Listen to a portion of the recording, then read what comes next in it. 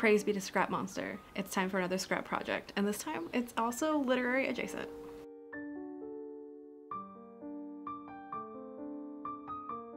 Hello and welcome to Book Hoarding by Bianca. I'm Bianca and today I'm going to walk you through my fun little tea cozy project. This is 100% a scrap project and it is also kind of a fun romp into my literary background but also a family um, kind of heirloom chest of quilt patterns. When cottagecore became a thing, like an aesthetic thing, all I could think was, um, hello, this is just Brambly Hedgecore, aka like these cute little mice that go and do adorable little adventures wearing slightly like Edwardian-ish cottagey clothes together and are adorable and eat tea and drink stuff and have lots of doilies and lace, aka my childhood dream life. So these are beloved stories from my childhood and of course when I was thinking of scrap projects for winter I immediately was like let me consult this book because I know there's tons of little cute cozy things that are in here from little aprons to cute bonnets to all these adorable things that I think would be nice and cozy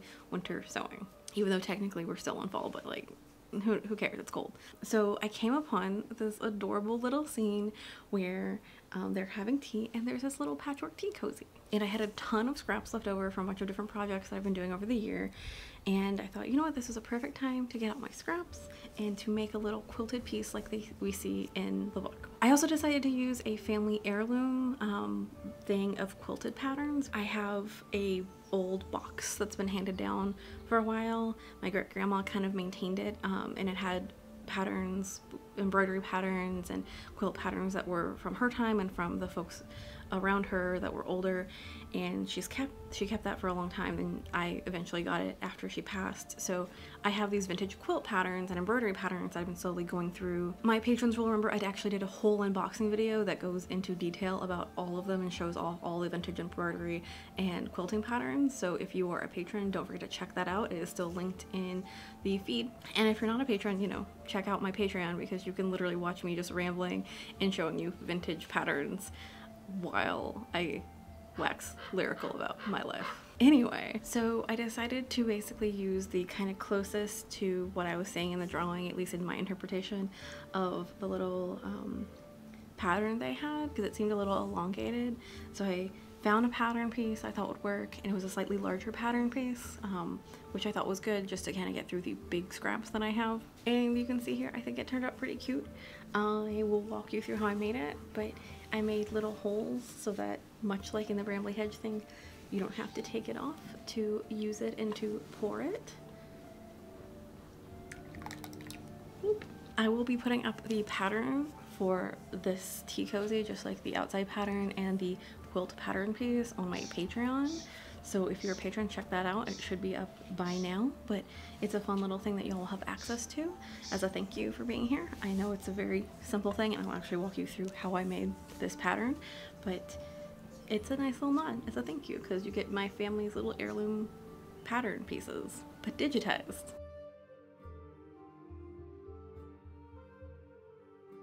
Here are the things you're gonna need for this. I use patterning paper to make this. I use measuring things to custom measure it to my teapot. So you're probably gonna want those things too. I used again scrap pieces so find yourself a quilting pattern if that's a thing that you want to do or you can make one for this i used scrap for a really basic third middle layer that would kind of add a little bit of volume and another layer of just kind of keeping things nice and cozy and warm if you have quilting batting or something else like a wool or flannel or like a poly fleece or something that you want to use for that, go for it. You can totally choose to make this more durable, um, more washable, or maybe just more like cute and you want to use like lace and stuff. Maybe you don't want to wash it a ton. Have fun with it. It's a scrap project. It's meant to be kind of a stash buster. Get rid of some of the fabric you've got lying around. That's not for project. I will also reluctantly I will also very reluctantly admit that I actually use my iron a ton for this project and it was very helpful. I actually include a clip later that you'll see where it's the unironed piece versus it ironed and how easier it was to actually work with it. So I have finally been defeated by the iron gods and will admit that it is useful for sewing.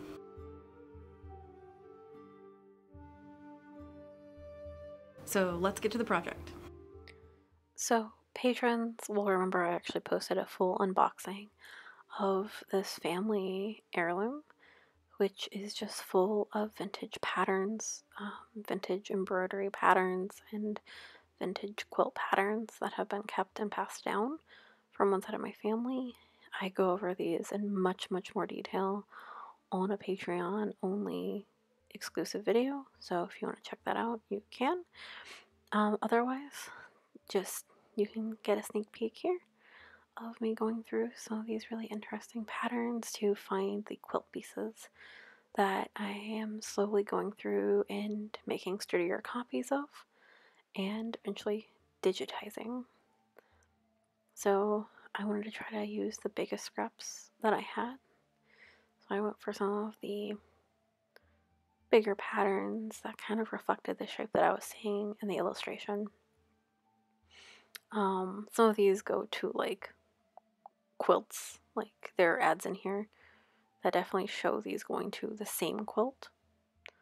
But otherwise, I'm just looking for pieces that I think will work for this specific Brambly Hedge piece that I'm working on. You can see the little book on the right hand, lower right hand side, the edge of the book. So I'm just looking at that as a cross reference. But anyway, it's a really special box. Um, I don't know if any of you have relatives, patterns, or sewing stuff. I know that like the meme is that it's always in a cookie tin, and I definitely grew up with that blue cookie tin being uh, full of sewing supplies, but for me, this box was also full of patterns that were special. So, first, I'm going to trace onto extra little scraps of my pattern paper that I use for my patterning class. These pieces and just getting them, getting the shape on there, trusting it, trusting the process.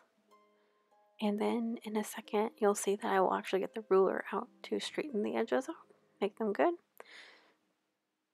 And I did a few pieces because I wasn't sure which ones I wanted to use for this. So I gave myself some options here. And I might use the smaller pieces for other projects, but that's pretty small. I'm using my clear quilters ruler here. Clear rulers are really, really useful for a lot of projects. The only problem is if you're working on darker fabric, sometimes it's definitely going to be harder to see the numbers.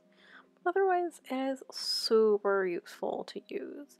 Don't use a felt tip pen with it though, because the ink will just come off on the edge and then bleed on everything the ruler touches.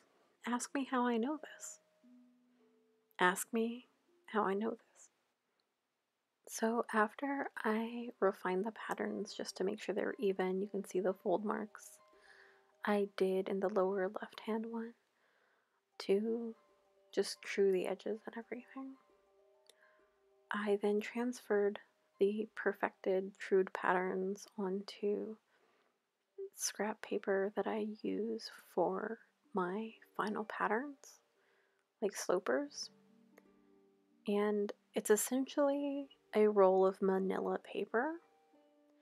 Yes, I have a link to all this stuff in my description if you are looking for pattern making supplies. I also have a pattern making video you can check out if you want to, but it's just a really basic pattern drafting info dump. So doesn't go into a ton of details, but I'm basically just using this manila paper to make this sturdy. If you have a manila folder, it works just as well. Yes, those are my paper scissors, don't you worry. I was using my scrap pieces of this manila paper. You can see on the right upper right hand corner, you can see that it comes in a roll. I was using scrap pieces because I've been making slopers to make final patterns for my final, like my final, not like the final pattern as in like the working pattern, then it's the final pattern with all the marks and stuff. Um, like the production thing, I'm talking about final as in like the final for my fashion class. If that makes any sense. I don't know if it makes sense. I know what I'm talking about. Anyway, so I'm cutting these out after tracing them. Again, I just, you know, cut out the things I thought might be fun to work with. maybe for future projects. I'm definitely eyeing some quilting stuff for some other kind of cozy craft things.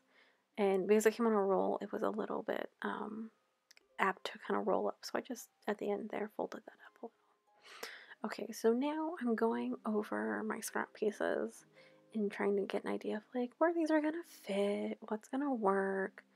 I am using my rotary cutter to cut these out. Again, my table is covered with cutting mats that are self-healing for rotary cutters to be used on.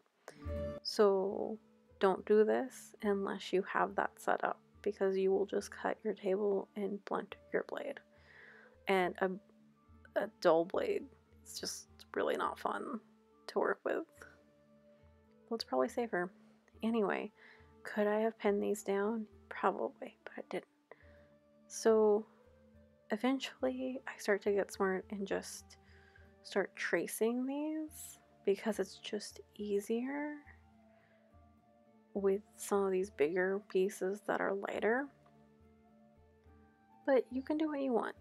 I knew that there would be seam allowance in these, so once I started marking them, I didn't exactly use a heat erase pen or a water soluble pen. I decided to use pen pen because I'm the only person that will see it and I don't have a problem with that. If you have a problem with that, you should probably use chalk or a heat erase pen. That's all I'm going to say there. Now, for the, the scrap pieces, I wasn't really concerned about grain. Um, I don't really quilt. There might be quilters who are watching this who are like, oh my god, you should have done certain grain lines. I don't know. Um, I only really care about grain lines for patterning clothing because that helps dictate drape and such and fit. I wasn't really concerned with that here, and I was gonna roughly sew down all the pieces later, so I wasn't too concerned about stretch and such. Um, quilters, if you have advice on bias or no bias in your pattern piece, grain or no grain, let me know. I'm curious. Um, I definitely remember my great grandma basically being like, just cut the piece that fits. Um, I think the quilting tradition I come from is 100% based on scraps.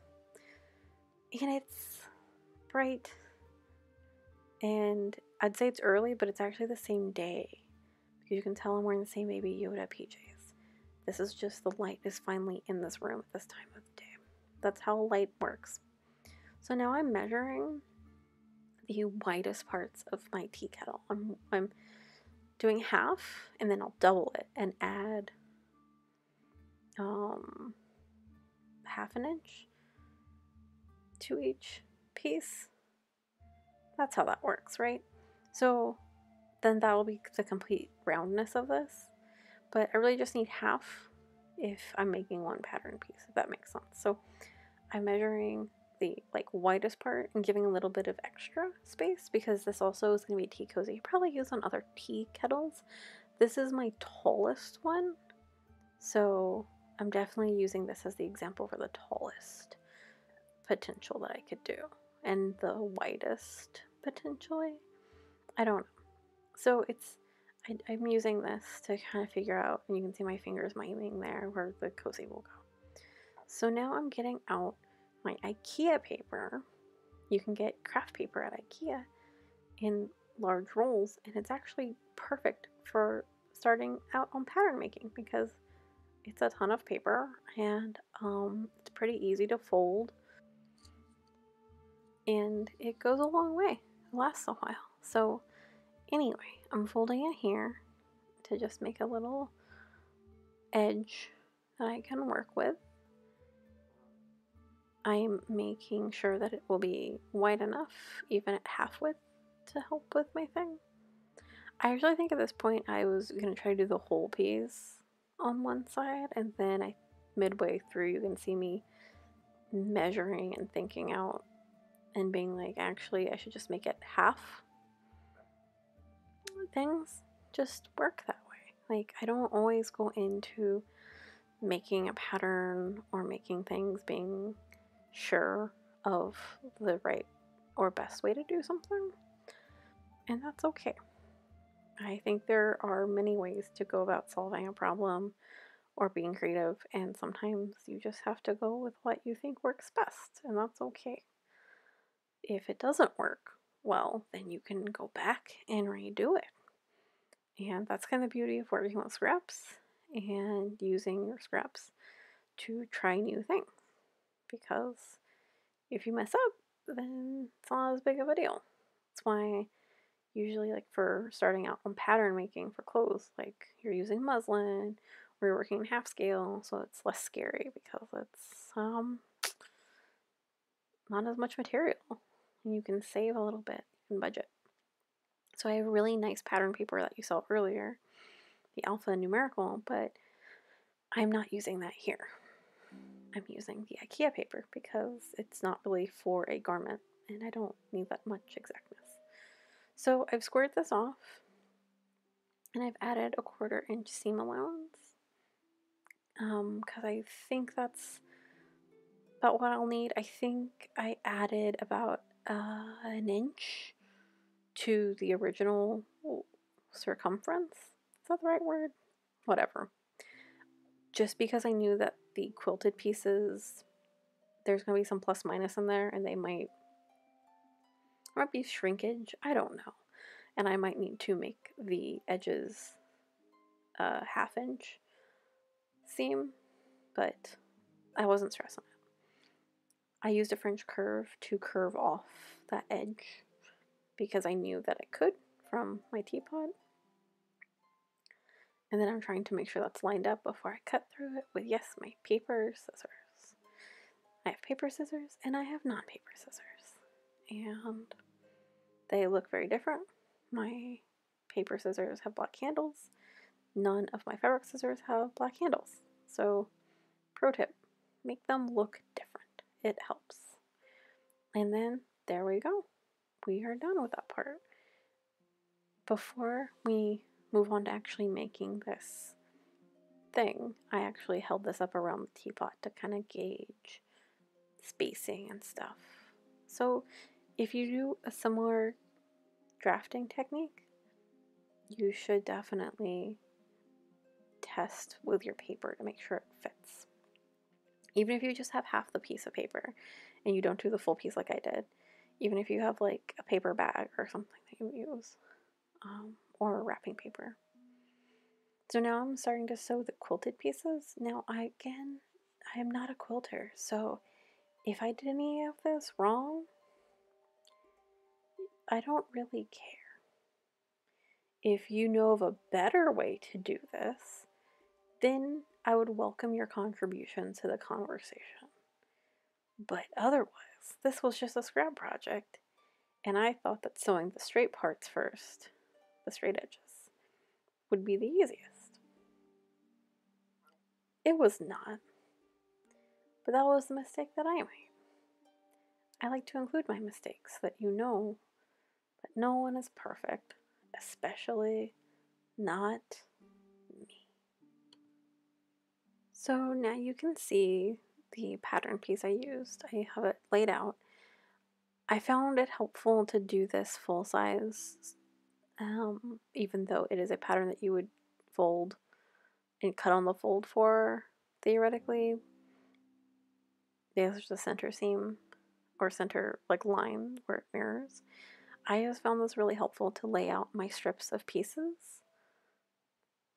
It's personal preference. So you can see here that I didn't iron these pieces and this doesn't really lay flat. So as much as I hate ironing, this is the ironed piece and it's so much easier to work with. You can just see it. So take it from me, a person who really, really hates ironing. It's helpful to iron. I said it. I hated it that I had to say it. I hate that I just said it. I, blah, blah. Sometimes it helps. Anyway, so I'm pinning down the original pattern to this and just cutting around it because I included the seam allowance in that original pattern and it is doubled and it's just going to be a great template for making this because I'm going to make multiple layers and they're all going to sandwich together as lining and not lining and all the good things. I could have definitely thought about modifying the pattern pieces so they'd fit a little bit nicer uh, or whatever, but I didn't. I just wanted to use this pattern. At the end there you saw that I used scraps to make the lining so it looks a little like a blue ombre stripe, but it was just scraps that I happened to have that were strips that would line up easily and work for the inside, and the inside doesn't need to be nice, it just needs to work. And this is the improvised middle layer, if you will, which is just pieces of muslin or other fabrics that I've used. So you can see them here. With right sides together, I have the lining facing the quilted piece. And then under the quilted piece is this improvised interlining thing, which is, it's not super sturdy. I use just muslins. I just wanted to give one more layer for, I guess, keeping the heat in. Whatever that's called. My brain doesn't work. Anyway, then I just sewed around with those layers pinned in place and the edges trued up and I just turned on the corner and then I trimmed the corners when I was done, turned them out. But make sure that you leave, I'd say maybe three, two to three inches unsewn because that's how you're going to pull it inside out if you've never done this. So, pretty much, you're just going to be turning this whole thing inside out. And the, like, this is the next to final sewing step for this. I mean, I guess there's two more sewing steps. So I, I don't know. I made things hard on myself. So you just cut the corners so they'll lay easier. I believe I also clipped the curve a little bit to make it curve a little nicer. We'll see in a second, but it's definitely little, little touches like that that I think help take your sewing from okay to like getting there, like getting grade A, like you can see the quality difference. The reason I showed you the ironed versus unironed was because I really wanted to show that like these little things do make a difference when it comes to the final product or even the steps along the way. You, you see me using this little dowel and I'm just poking out the corners to make them as sharp as can be. And when I cut the corners inside, that helped to reduce the bulk so that those corners could pop out and be all nice that's the secret to those corners. And then I'm just kind of finger, um, not pressing, I finger pulling the pieces uh, along the outer seam so they're a little even. Then I just kind of finger pressed the open two to three inches that I talked about before. And I pressed them in place and just sewed down a little top stitch over them. So that it would stay in place because you saw it was gapping without the stitch. So just do that. If you want to top stitch the entire out outer layer, you can. It's really up to you. So then I ironed it. Ooh, it looks so nice ironed, doesn't it? Yeah, I, I'm a recent convert to ironing when it's necessary. I was a no iron person. But I see, I see there's some use for it. So I just kind of free-handed um, sewing over the lines on this, aka like stitch in the ditch, if you will. I just wanted to kind of make it sturdier, so I just kind of sewed zigzags along like the pattern pieces edges. It's nothing really scientific. You don't have to do this. I just kind of wanted to give it a little extra structure and keep those pieces in place. So, quilters, again, if you have better methods for these, let me know. You can see on the inside there. Some of them just like hodgepodge I did. And I'm showing you with my fingers where I'm going to sew. I'm going to be leaving open space on the edges for the handle and the spout. Here is my handle, here's my spout. Anyway, I left open pieces so that you could get those out or so that you could have everything be covered nicely. you can see I'm measuring. I, yes, use a measuring tool to just double check things. Double check my seam allowances, double check little things like that because I think it's really important uh, to try to get more precise as I go. I used to really not use rulers. I used to eye a lot of things. And with my fashion classes I'm taking this semester, I am really, really trying to do better. And you can see my thread check-in right there. I won. And the big, not really, reveal that yes, it does fit, and yes, you can still access the handle and the spout easily, or you can cover them back up to keep things nice and toasty. And there we go. You have a tea cozy.